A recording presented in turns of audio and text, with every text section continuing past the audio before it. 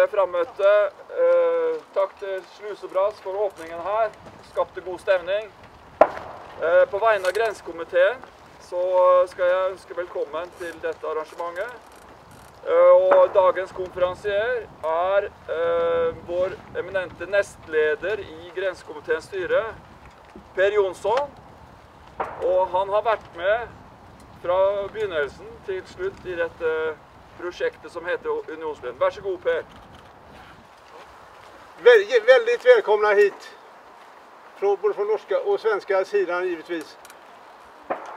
Och eh, det har varit eh, en lång, eh, ja, ett långt arbete som har tagit sin tid innan vi nu går i, startar upp den nya processen kanske hur vi jobbar med vår unionsled.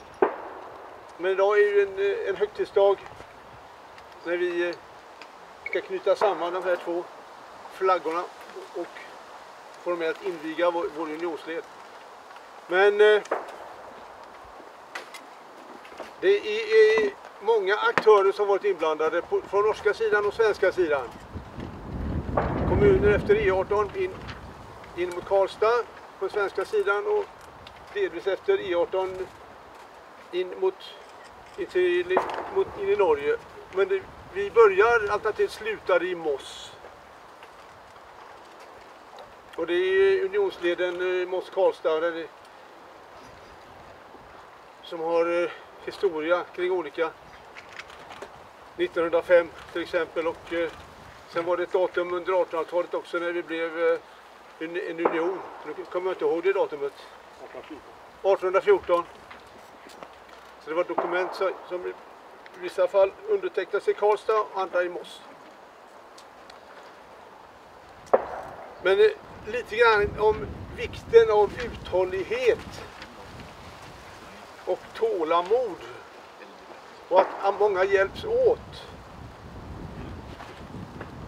Från början då så var det en idé som ni kommer få höra lite mer om längre fram som kom upp på en studieresa nere i Ungern. Och en idé följdes upp med lite undersökningar och annat och bland annat vi startade ett interregprojekt med Dalslands kommunalförbund. En förstudie. Då hade Dalslands kommunalförbund tog bollen med hjälp av dalsländska kommuner, bland annat Bengtsfors kommun. Sen så blev Årjäng en viktig spelare och, och Norge är hela tiden eh, med i det här tänket och stöttar med sina tjänstemän och politiker. Och man byter ordförande och annat, jag på Sverige och norsk sida. Men det här gränssamarbetet hålls högt hela tiden. Och eh, Årjäng var projektledare för ett stort interregprojekt under flera år. Det var Daniel Schützer, kommunalråd och även då i vissa fall även ordförande i gränsekommittén. Så det är Värmland Östfold gränsekommitté som eh, just nu har, bollen så att säga. Men, och då, eh, jag vill nämna det just Årjängs kommun med eh, den tjänstemannaledning på turistiska sidan där. Elinor Karlsson och Per Näslund som har gjort väldigt tungt arbete i det projektet. De är inte med här idag men de bör nämnas. Men sen det här kontinuiteten och ta vara på ja, vissa aktörer fungerar ett tag och sen tar andra vid. Så att man tar över sin stafettpinnen här och nu är liksom nu har Värmland Östfold gränskommitté där vi har kommuner ifrån Östfold, Dalsland och Värmland bollen så att säga. Och vi, vi får stötta ifrån kommunerna för driften av leden.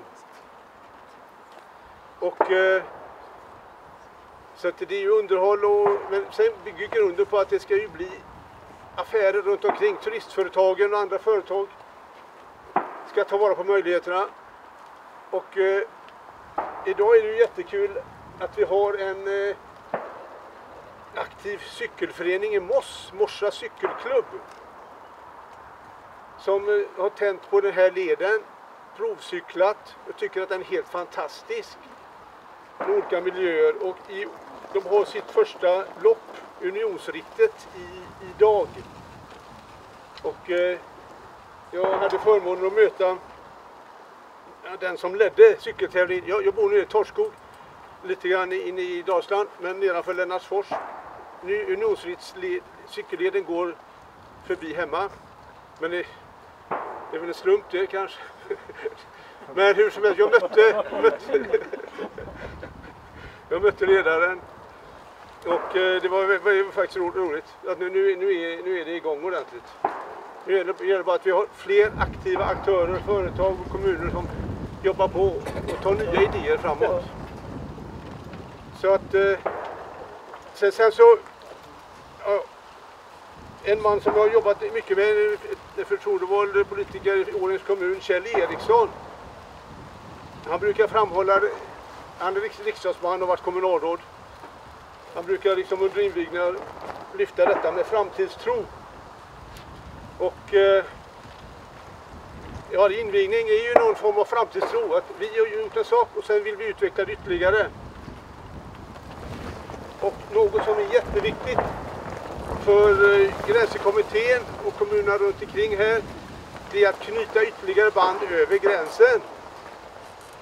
Och liksom att eh, koppla ihop då Sveriges, det blir Sveriges fjärde nationella cykelled internationellt med en cykelled in i Norge till Moss är ju något som stärker samverkan väldigt. Och eh, det är bara att vi kommer att jobba vidare. Kommunerna på bägge sidor gränsen och gränskommittén jobbar vidare med ytterligare projekt och idéer för att ytterligare stärka samarbetet. För kan vi ta vara på styrkorna på, på, från på bägge sidor så, så är mycket vunnet. Och det gäller att Oslo och Stockholms ledande förtroendevalda regering förstår vikten av att vi stärker samverkan här, gränssamarbetet. Egentligen skulle Katrin Hestö han, Jansen, Hansen varit här. Hon är ordförande i gränskommittén. Jag är vice ordförande. Men hon hade förhinder. Så att jag får tala å hennes vägnar också här. Men med de här orden så startar vi den här ceremonin och vi fortsätter. Jag vill lämna över ord till några som var med i starten. Ja, Jenny Kristensen är eh, just nu i Åmåls kommun. Varsågod. Tack själv. Eh, jag känner mig otroligt hedrad att vara här idag tillsammans med alla er och få inviga Unionsleden. Eh, för mig har det här varit en otrolig resa som startade 2012 faktiskt. Och eh, då var jag, jag blev inbjuden med Gränskommittén för att åka ner till Budapest för att titta på hur de jobbar med gränsregionalt samarbete mellan Slovakien och Ungern. Och eh, det var Alf Johansen som bjöd med mig på den här resan. Och då jobbar jag på Dalslandskommunernas kommunalförbund. Eh, det var en varm sommar, en varm sommar som vi har haft nu. Jättevarmt och jag tror det var värmerekord när vi var nere i Ungern den sommaren. Och eh, vi var ute och reste, vi hade hyrt en minibuss eh, och tittade på olika saker, hur de jobbar tillsammans. Och så hamnade vi på en flodbåt på Donau. Eh, och där satte vi oss och käkade och så började vi höra att det var några som pratade svenska. Eh, och då gick vi fram och pratade med dem och frågade vad gör ni här? Ja men vi är här och cyklar Donauleden och det är så helt fantastiskt vi har bokat vinpaket och vi cyklar och njuter och precis eh, när vi var nere på den här resan så det var 2012 och 2014 så skulle man fira, man firar ju stort i Norge, det vet ni va? Då är det storslaget och 2014 skulle man fira att man unionsupplösningen från, med Sverige och vi hade diskuterat det här mycket under resan, det här med unionsupplösningen och hur Norge skulle fira det här. Och när vi stod där då och pratade med de här svenska turisterna som hade tagit sig ner till Ungern så säger man det är ju det vi ska skapa över gränsen. Vi gör en unionsled. Så det var där idén föddes på den här båten på Donau. Eh, och sen, och jag vill, eh, sen när vi kom hem ifrån den här resan ni vet när man har varit ute på en resa och inspireras så gäller det ju liksom att ta tag i saker för att saker ska hända. Och jag vill rikta ett stort tack till Kristina Svensson som var förbundschef på Dalslandskommunernas kommunalförbund eh, där jag jobbar. För hon gav mig ett uppdrag att tillsammans med Alf eh, titta på att göra en förstudie. Kan vi jobba vidare med den här frågan? Så jag och en kollega, Lillemor Larsson, eh, gjorde tillsammans med Alf en förstudie som vi sedan arbetar vidare till ett, en, en fullskalig projektansökan. Och som ni förstår har det här varit en lång resa och även som, som Per sa, du bor precis bredvid Unionsleden. Det gör jag också. För att man börjar med en idé och så kanske den ser ut så, men sen så händer det grejer på vägen. Och det tror jag kanske Christer som ska prata lite sen kommer att nämna. Eh, för vi, när vi startade det här projektet så hade vi ju de här utgångspunkterna Karlstad-Moss. Men hur vägen emellan där skulle se ut, den klarnar lite mer sen efterhand. Och, eh, nu jobbar jag inte kvar på Dalslands, kommun, eh, Dalslandskommunernas kommunalförbund, jag representerar idag Åmåls kommun. Och för oss så är det här jätteviktigt, det här turist och besöksnäring. Och en cykelled skapar ju verkliga möjligheter och hållbara, alltså det här med hållbarhet och att man hittar samarbeten och kan utveckla eh, destinationer. Och vi har även Vänerleden som passerar i Åmåls kommun så att vi har två nationella cykelleder hos oss och det är vi väldigt stolta över. Så Alf, jag vill tacka. Jag är enormt glad över att få stå här och inviga. Det har tagit, vad blir det, 11 år nästan på dagen skulle jag vilja säga för det var i slutet på juni som vi var i Budapest. Tack Jenny.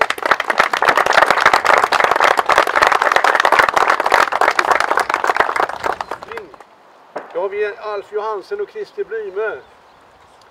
Så att då är ni välkomna fram. Väldigt goda medarbetare i ett Interreg-projekt Norge-Sverige.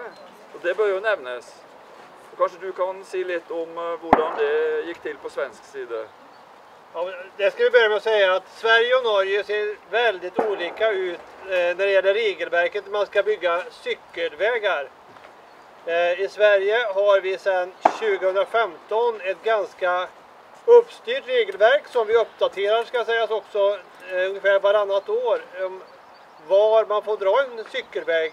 För det vi, det vi har tagit fram det är ju en cykelväg för rekreation och turism ska vi säga.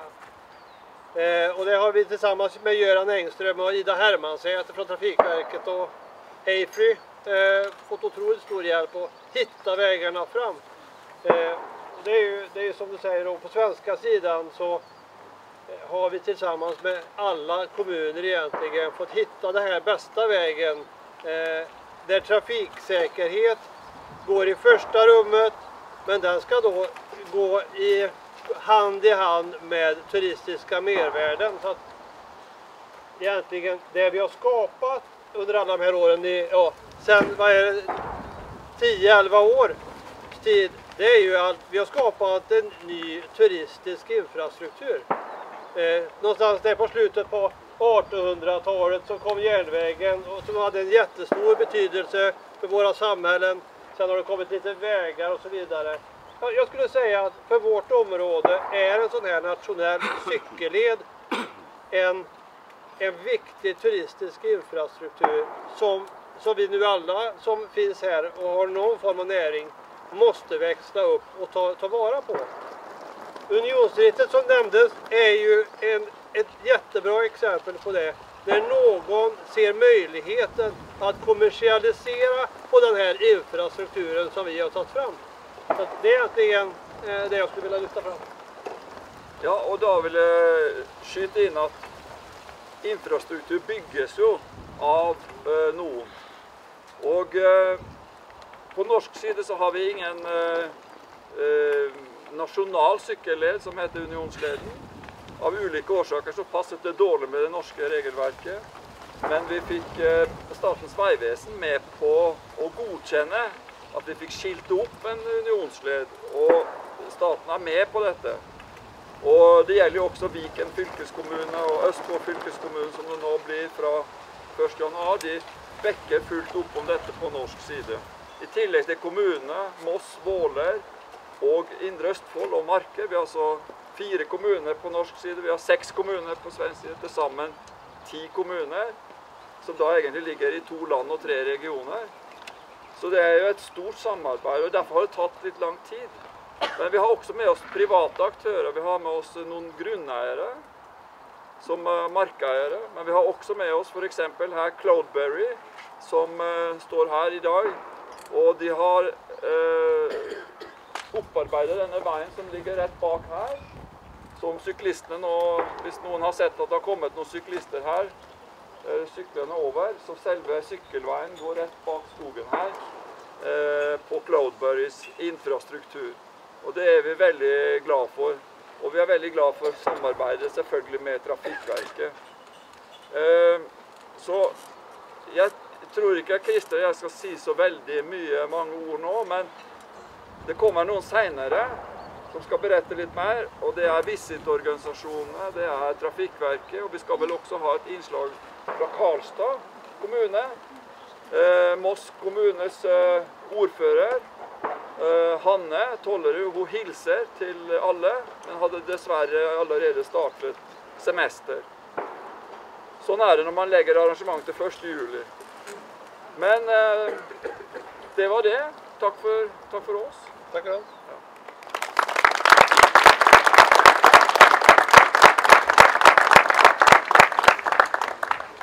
Mm. Vi, vi ska ha kulturinslag här. Musik och eh, spel så att eh, jag får överlämna till sotspelet. Uroen mellom våre to land. Vi skal ikke glemme det, for det må aldri skje igjen. På denne dag, 1. juli 2023, er vi samlet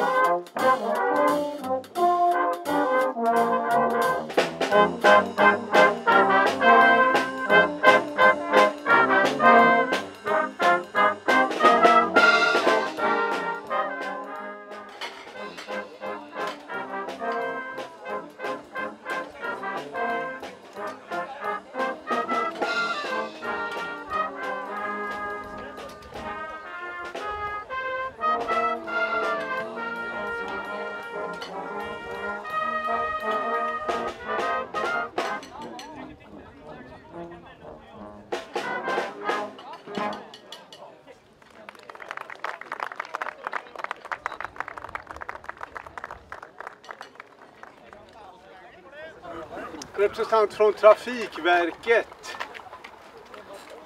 som ska ta lite kring processen. Hur det har fungerat. Och jag var inne på nätet och tittade på cykelleder i Sverige och det ökar i antal. Ja, det gör det. Vi har att göra. Ja, ni jobbar hårt där. Ja. Varsågoda. Eh, Vårt arbete går ju mest och till största delen ut på att det är en trafiksäker cykelled.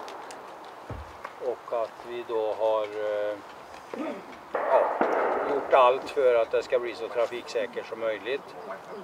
Vi har väl haft några bakslag på vissa ställen, eller hur Christer?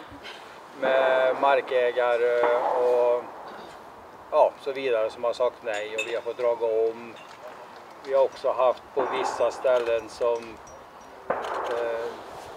vi har fått vetskap eller undersökt att vi får haft säkrare slingor eller sträckor att gå. Och därför har vi också ändrat ledsträckningen. Så att eh, prio ett är ju för oss då, Trafikverket, är ju att det ska vara så trafiksäkert som möjligt eh, för de som cyklar. Eh, ja, sen så har vi ju Ja, jag kan inte nog tacka Isa Hermansäter här då för all hjälp vi har, jag har fått. Och Christer Blymö som vi har haft väldigt bra kontakt med, med kommun och ledhuvudman. Och, eh, Satte standarden högt i ett samarbete till tycker vi. ja, absolut. Så Att, eh, nej, det jag ser det som en förmån att få varit med om det här. Och det är ju alla, vi har ansvar ju för all skyltning då, utmärkning av leden. Jättefina. Röda med nummer fyra på. Så att, eh, ja, Jag vill säga att det är vår första led i Region Väst, Ja. nationell led. Så att Unionsleden blev ju föregångare. hur vi arbetar med det här. Det har ju varit en lärorik process Ja. som vi har tagit med i andra nationella leder när vi jobbar. Ja, precis. Christer, vill du eh, säga något omkring samverkan där?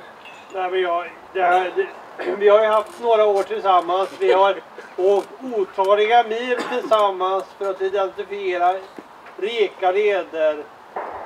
Och precis som ni säger, för, för mig framförallt så, så har ju det här varit en, en, en resa på fyra år i, av utbildning för att lära oss hur, hur gör vi det här på bästa sätt och sådär. Och där har ju samarbetet med er har ju varit ovärderligt skulle jag säga för att det här skulle ha funkat överhuvudtaget. Så att, eh, stort tack! Tack själv. Och hur viktigt det är att faktiskt vara med tidigt i processen. Ja, Trafikverkets eh, del då. ja. Att man har ett eh, god dialog och hur man tänker sig redan i ansökningsprocessen kan man väl tänka. ja Ja. precis. Ha ett tidigt samråd och ja, helt klart. Har- Har ni samverkan på, med norska sidan också? Eller? Nej, Ni sköter svenska? ifrån den här gränsen uppe. Så att nej, vi får inte gå in på norsk mark. Det är viss kommunikation. Så att eh, jag vet inte om det hade behövts men är eftersom det inte finns några skyltar. Ja, Det kanske beror på annat. tack så jättemycket för ert fantastiska jobb. Karlstad är ju en utav ja, delägarna, ingår i systemet för Unionsleden och hjälper till med fi- finansieringen framåt och varit med i processen till också. Ja. Varsågod. Ja, tackar, tackar. Och jag som är alldeles ny i den här processen, och så här, jag är lite som Per sa här i inledningen här att det, det börjar ju för att bli någonting för framtiden och det här är väl en grej verkligen för framtiden.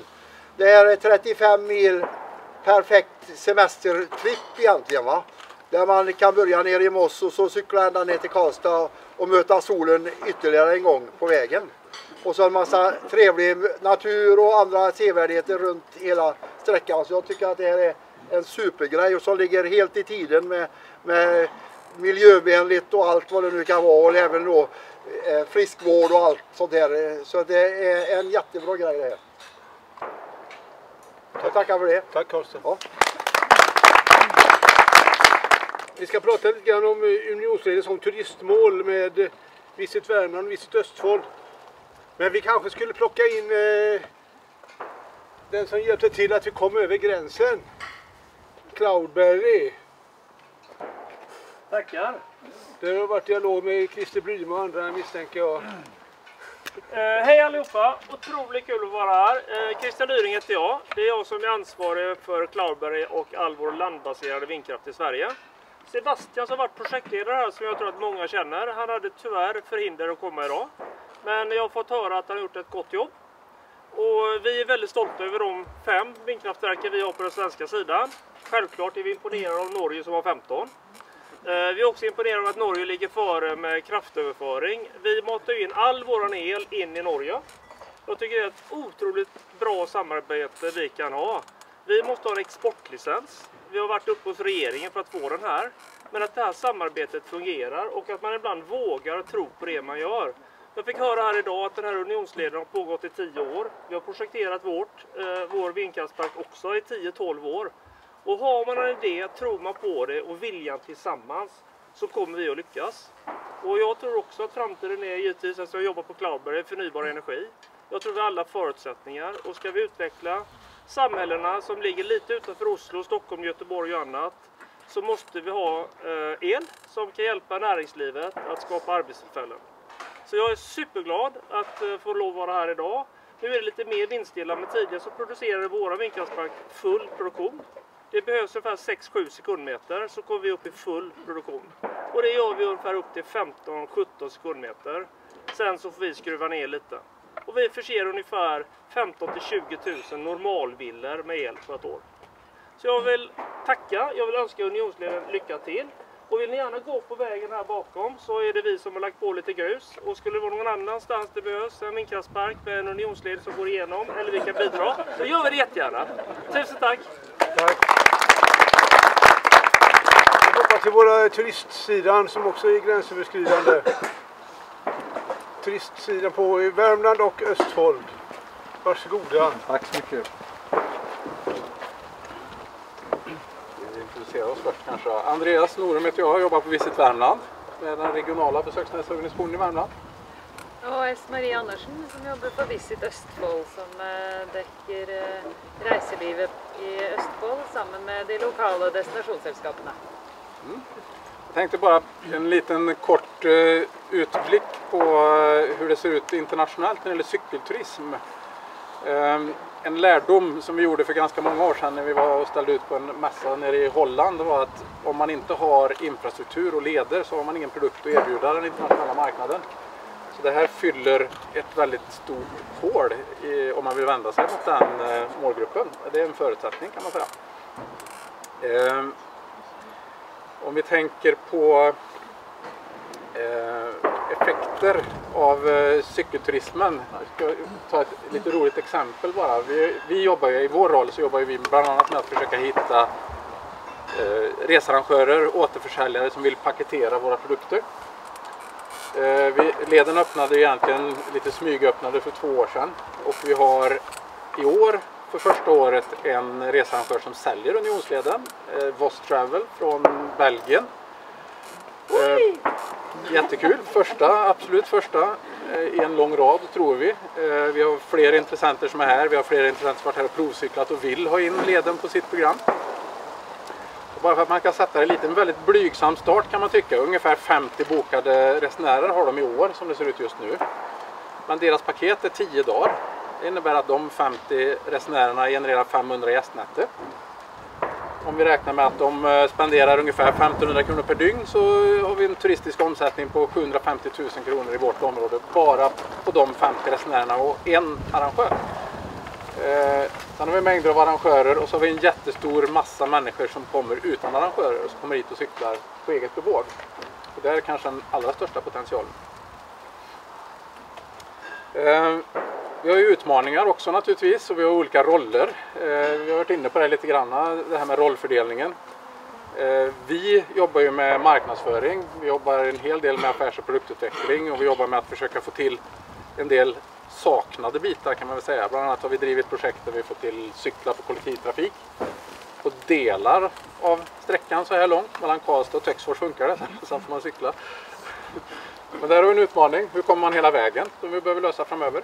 Det kan vi skicka med. Eh, Vi har ju väldigt goda samarbete Norge-Sverige. Mye takket også være gjennom gode Interreg-prosjekter. Og vi ser att sånne ledare som dette her, det er med å skape næringsutvikling. Og det visar också att turismen är en viktig del av utvecklingen av städerna, byarna och områdena där vi bor och färdas. Du kan jo ta man finner jo beste eksemplene ofte i seg selv. Og jeg tenker, jeg er dame 50, midt i målgruppa til å skulle ønske å sykle Unionsleden. Og jeg kan jo si med meg selv at en gang så kanskje jeg har lyst til å sykle hele leden samlet. Da må jeg, som Andreas sier, finne de vakre overnattingsstedene, få de gode spiseplassene. Andre ganger så kanskje jeg bare har lyst til å ta med en venninnegjeng og sykle en liten del av det. Da kommer jeg inn i byer, jeg får oppleve de, jeg skal parkere bilen min, jeg skal ta med meg en 50-årsgave for jeg skal videre et sted. Og jeg kan love dere at hvis jeg skal sykle hele leden, så er jeg etter hvert så sliten at jeg til og med kanskje kan klare å kjøpe meg en hytte på veien. Altså, det er så store muligheter når vi samarbeider og trekker sammen såpass store arealer, at vi kan få denne utviklingen. Vi kan få det fokuset nasjonalt og internasjonalt. Men vi må heller ikke glemme det lokale fokuset. At vi blir stolte beboere i grensetraktene. Og vi sikrer dette gode kvalitative samarbeidet Norge-Sverige. Så det ser vi bare videre fram til. Mm. Bara som en liten avslutning. Eh, många, vi har ju många utvecklingsprojekt gemensamt. Men det är inte så många projekt som eh, ändar upp i en infrastruktur. Det här är ju en, en fast infrastruktur att jobba tillsammans med under många, många år framåt.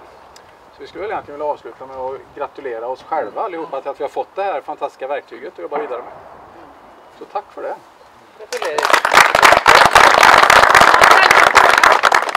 Jag tänker så här. Eh, det här med unionsupplösen, eh, var det verkligen så bra? Ja, jag tänker att vi börjar lite smått och vänder på det.